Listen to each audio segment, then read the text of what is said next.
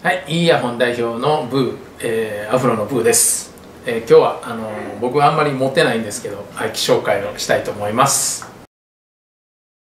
えっとまず、えーとまあ、一番最初と言ったらあれなんですけどももうちょっと形は変わってしまったんですけど、えー、とこれはあのリモールドしたんですけどもえっとルースの、まあ、5EB 回というモデルです。えーとまあ、カスタムですね。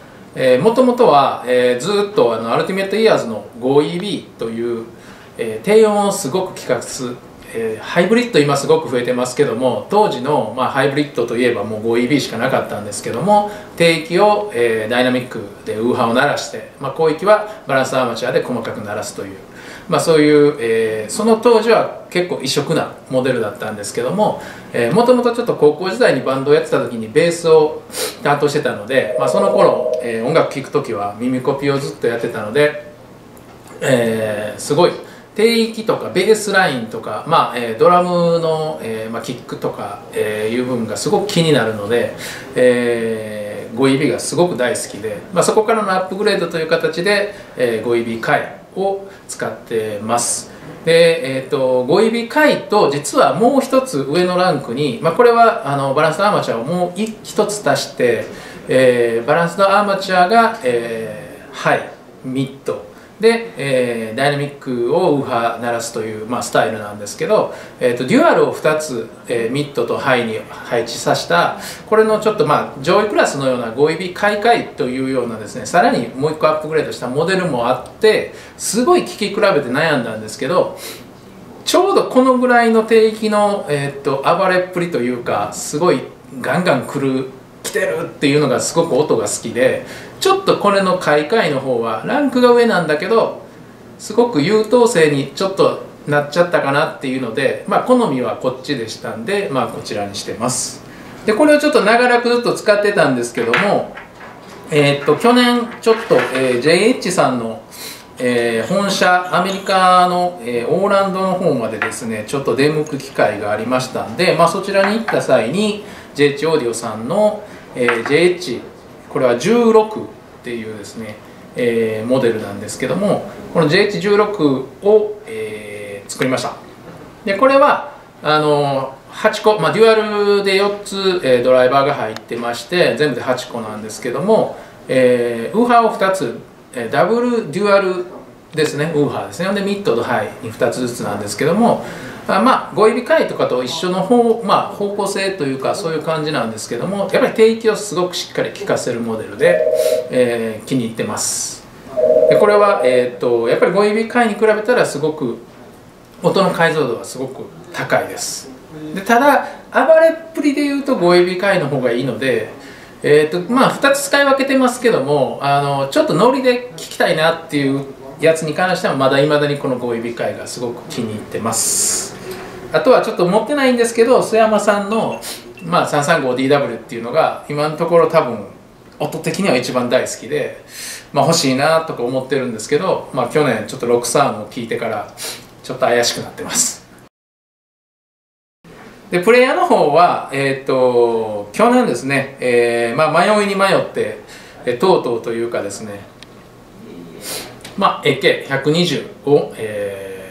購入してまだ1ヶ月ちょっとなんですけどもあの使い始めてます。いわゆるハイレゾ音源をちょこちょこ集め出して使い始めたっていう、まあ、ハイレゾ音源ビギナーです。これからもっとあのいい音源をこうたくさん入れて、えー楽しみたいなっていうような感じでスタートしました。実は購入の際に AK100M2 と120 100マーク2、120、100マーク2、120すごい迷ったんですけども実際もう分かんなくなってきて安い方でいいやっていう気持ちもあったんですけどもまああのいろんな人からいろんなアドバイスをもらったりまあ社長は120だろうってスタッフからの声が一番多かったので、えーとまあ、それに押されて120を買いました。まあやはりあの DAC が独立して LR 一つ一つあるっていうので贅沢な作りではあるので、まあ、こちらの方があのこれからずっと音音楽を楽しんでいくにはすごく、えーベストだと思ってます。後悔はしてません。でえっとまあアフロをずっともう4年ぐらいやってるのでインナーイヤーでしかほとんど使わないんですけど、えー、実は一つあのヘッドホンを持ってまして HD25 の音がすごくあの定期がすごくいいので HD25 はすごく大好きな音なんですけど、まあ、その中でもアディダス。アディダスモデルですね。もうアディダス大好きなのでとにかくアディダス買っとけみたいな持っとけみたいな形で、えー、ちょっとこれは完全に衝動買いであのもうこれが生産終了っていうのを聞いた時にこれは持っとかないとと思って買いました。で音楽をこれですごい聴いてはないんですけど、まあ、アディダスファッションとして、えー、っとまあ、首にこうかけて、え、俺アディダスみたいなのをちょっとやったりしてますね、えー、まあそれだけのやつです。で、えっと、最後ですねちょっと3つあるんですけどもあのフィリップスのちょっとポータブルスピーカー3連発全部自分の私物なんですけどもあの持ってます。で、